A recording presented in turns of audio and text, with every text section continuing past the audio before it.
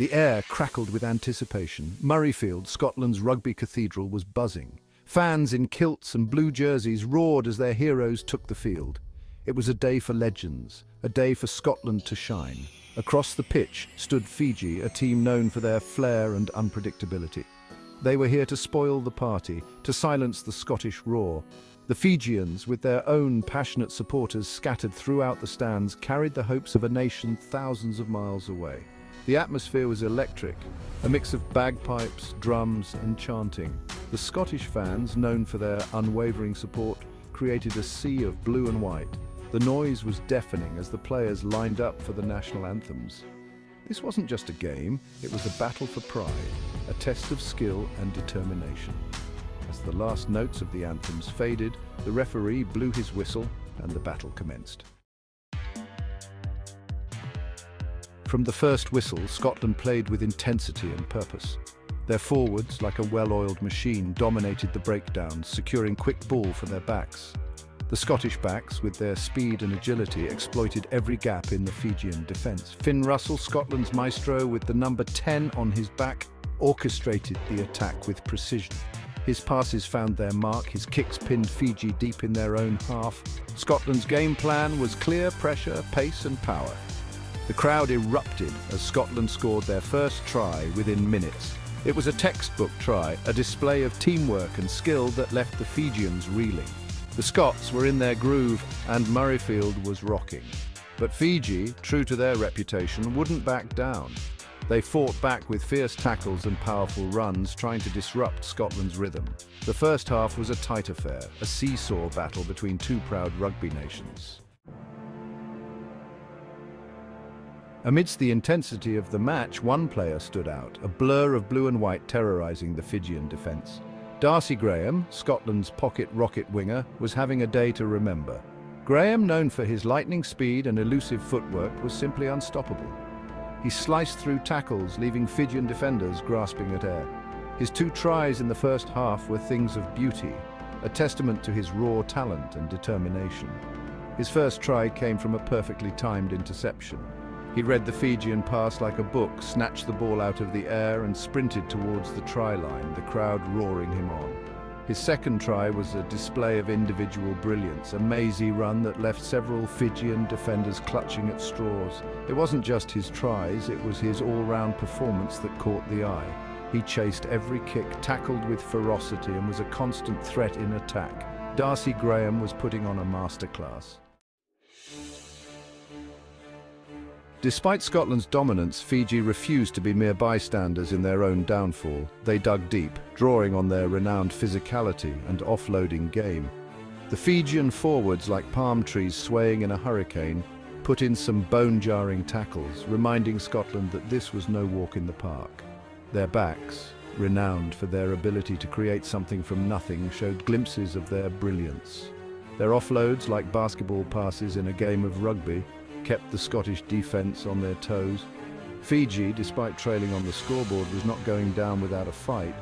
Their efforts were rewarded with a try of their own, a moment of individual brilliance that ignited the Fijian fans scattered throughout Murrayfield. It was a reminder that Fiji, even when behind, is never truly out of the game. The first half ended with Scotland in the lead, but Fiji had served notice that they would not be easy to put away. The second half promised to be another bruising encounter. Section 5, a second half surge. The second half began much like the first, with Scotland on the front foot. They continued to play with pace and precision, their forwards laying the platform for their backs to shine. The Scottish backs, with Darcy Graham leading the charge, continued to test the Fijian defence. Fiji, despite their best efforts, seemed to be tiring. The relentless pressure exerted by the Scots was taking its toll. Their tackles, once ferocious, lost some of their sting. Their attacks, once full of flair, became more predictable. Scotland capitalised on Fiji's fatigue, scoring two quick tries in the opening minutes of the second half. The first came from a powerful line-out drive, a testament to their dominance in the set pieces. The second, a moment of pure opportunism, saw Finn Russell intercept a loose pass and race away to score under the posts. The game was slipping away from Fiji. Scotland, with their tails up, sensed victory. The crowd at Murrayfield, sensing a famous win, roared their approval. As Section 6 crossing the line Scotland's try-scoring blitz. With the game seemingly secured, Scotland could have been forgiven for taking their foot off the gas. But this Scottish team, under Gregor Townsend's leadership, is made of sterner stuff. They continued to attack relentlessly, determined to finish the game in style. And finish in style they did. Try after try followed, each one met with a deafening roar from the Murrayfield faithful. It was a display of attacking rugby at its finest, a blend of power, pace and precision. The Fijians, to their credit, never gave up, but they were simply outmatched on the day. The final whistle blew, signalling a comprehensive victory for Scotland. The crowd erupted, a sea of blue and white celebrating a memorable win.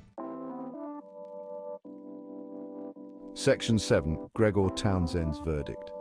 As the players made their way off the field, exhausted but exhilarated, Gregor Townsend, Scotland's head coach, allowed himself a wry smile. He knew his team had put on a show, a performance that would live long in the memory.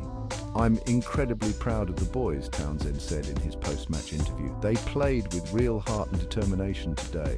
We knew Fiji would be tough opponents, and they certainly didn't disappoint. He reserved special praise for Darcy Graham, the man of the match. Darcy was outstanding today, Townsend said. He's a real handful for any defence. His work rate is phenomenal and his finishing was top class. Townsend, however, was quick to point out that it was a team effort.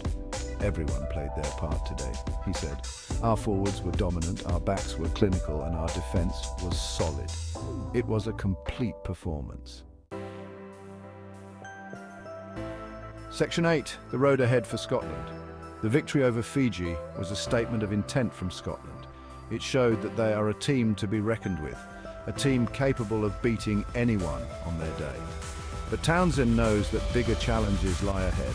Scotland is building towards the Rugby World Cup and they will be hoping to carry this form into that tournament. They have the talent and the belief to go far, but they will need to maintain this level of performance if they are to challenge for the ultimate prize. For now, though, Townsend and his team can savour this victory. They have earned the right to celebrate. They have given their fans a day to remember, a day that will live long in the annals of Scottish rugby history. Section 9. A Final Thought.